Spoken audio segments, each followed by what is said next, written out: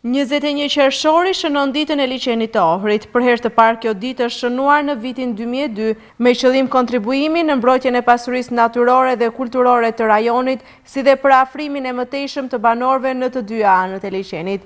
Vendi mikpritës i manifestimeve qarkullon nga njëra bashki tek tjetra dhe dy vite më parë ishte Bashkia e Pogradecit ajo e cila organizoi një event në fokus, Liqenin e Ohrit.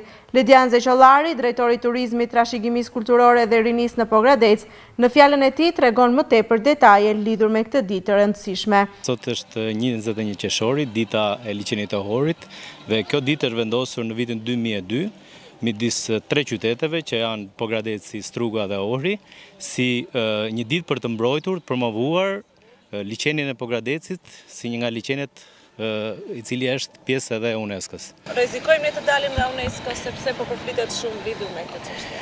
Jo, nuk besoj se do do dalim nga UNESCO, thjesht UNESCO ka vendosur disa kritere që ne duhet t'i zbatojmë me patjetër. Deri ku jemi me zbatimin e tyre? Pjesa më e mirë e tyre është zbatuar. Tradicionalisht kjo datë shënon edhe hapjen e sezonit turistik në tre qytetet Pogradec, Ohër dhe Strugë.